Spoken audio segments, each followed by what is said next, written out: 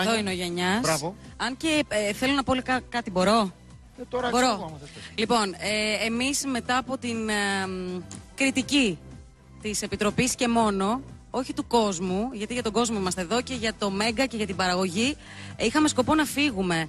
Αλλά δεν θα το κάνουμε.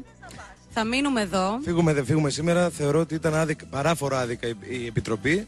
Άρα πες Οπότε εσύ. τι; Οπότε αποφασίσαμε από κοινού. Τίποτα, απλά μένουμε εδώ για την παραγωγή, για το Μέγκα και για τον κόσμο πάνω απ' όλα. Τέλος. Από εδώ και πέρα Επιτροπή; Δεν μετράει.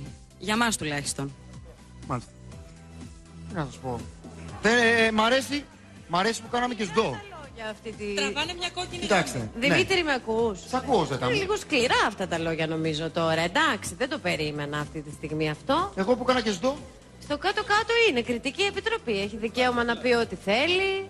Και όντως εμείς ήρθαμε εδώ για να περάσουμε καλά. Έτσι. Και ήταν και στο πλαίσιο των, των κανόνων του παιχνιδιού. Δεν μπήκε εμβόλυμα μετά η Κριτική Επιτροπή. Τέλος πάντων, ούτως ή άλλως η τελευταία λέξη ανήκει στον κόσμο. Δεν ξέρω